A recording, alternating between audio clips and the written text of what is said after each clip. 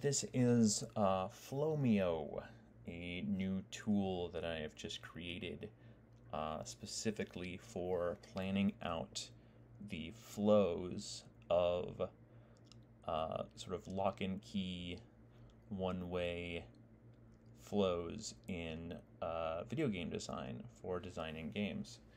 Uh, and I'm going to give you a quick overview in this video because uh, this is going to be easier than trying to make a tutorial.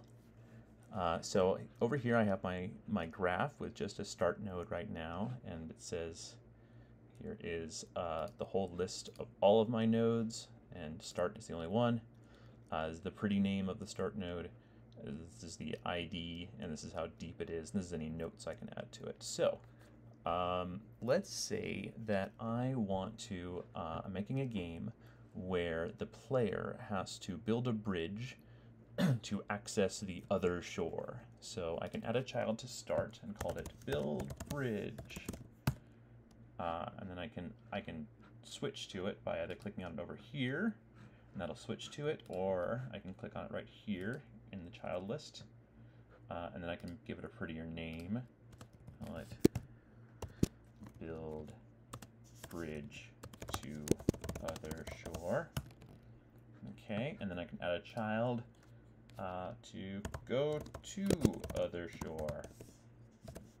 Cool. And then on the other shore, I can, you know, add whatever I need to do on the other shore. So then, that kind of unblocks me from, if I want to focus on all this stuff that you do on the other shore, I can go ahead and put that in right now. And then I can come back later if I want to and say, okay, how are we going to build the bridge? Obviously, you can't just click build bridge. I mean, you can in some games click build bridge and it'll build the bridge, but we want to make sort of a, know, so sort of a survival or crafty game. So we want to say, let's see, to build a bridge, we need to, uh, let's say we need to gather wood to, uh, to make the bridge out of. And let's say we need to uh, make the hammer tool. Uh, so you can use the hammer to build the bridge. So now we have gather wood and make hammer as parents of the build the bridge to the other shore. Um, and then we also still have start as a parent. We can get rid of start since that's kind of redundant now. And then let's see, so what do we need to do to gather wood? In order to gather wood, we need to make an axe, right, to cut down the wood.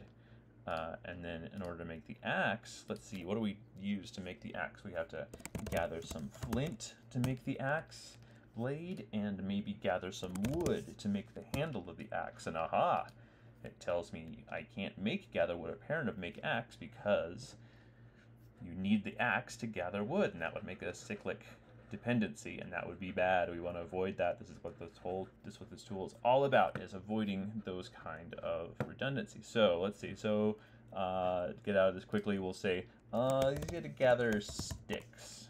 Sure, we can gather sticks to make the axe. You can use sticks and the flint to make an axe.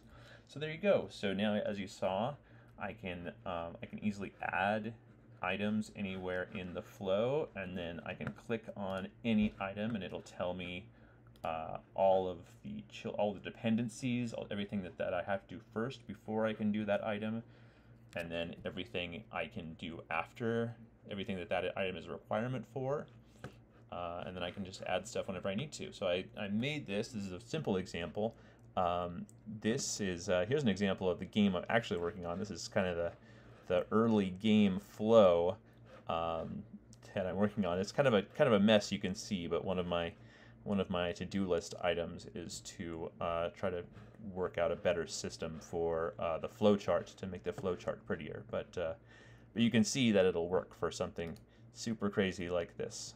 Um,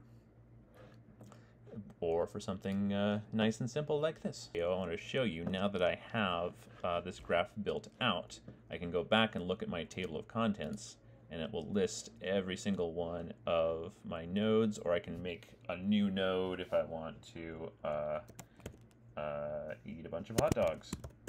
Uh, then I can make a new node for eating hot dogs uh, easily right there just as easily as you saw before that I could add it as a child or a parent of another node.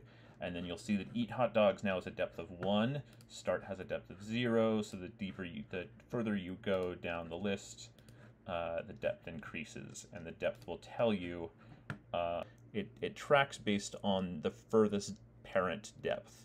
So even though start make hammer is only depth 1, build bridge is depth 4 because it isn't just make hammer, it's also the depth 3 gather wood, the depth through depth 2 make axe, etc.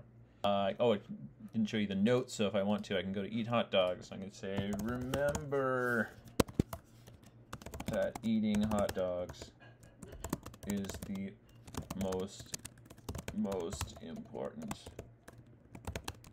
part of this game. Cool.